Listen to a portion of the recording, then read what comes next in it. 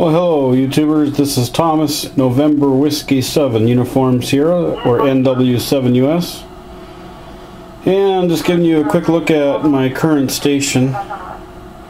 There are my two Morse code keys. The one on the right is the Navy Flameproof key. And there's my hat.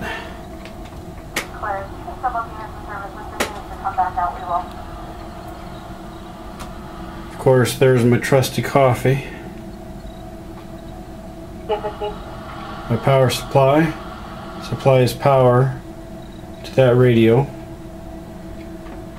And Russ K0 LUW is lending me this antenna tuner which right now is running from the internal balun to a wire and a counterpoise. The wire goes out to a rain gutter and a downspout. The downspout's three stories high, goes up to a rain gutter, that's the depth of the house, then it comes down on the other side. and that's the scanner, which we'll get to here in a moment. Anyway, there is the radio. It's an Icom IC 7000 and you can see that I'm on the JT 65A mode frequency on 20 meters. And underneath the tuner is another I mean underneath the power supply is another tuner that I'm not currently using because it's having some problems right now. And this is my first monitor. Underneath that is my amp for stereo and sound.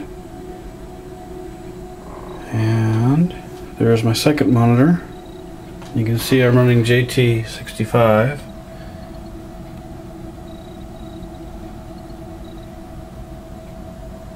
There's the waterfall.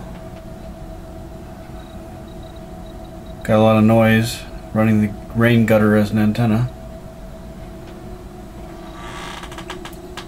And then there's my scanner, two scanners. The top one right now is railroad and air, air traffic.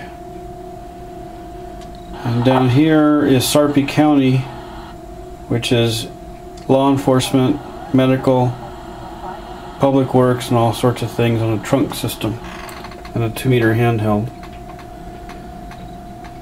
So that's a quick look at my station here in Nebraska.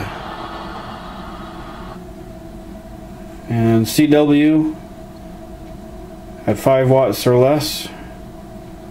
JT65 15 watts or less is what I'm currently running. There you have it.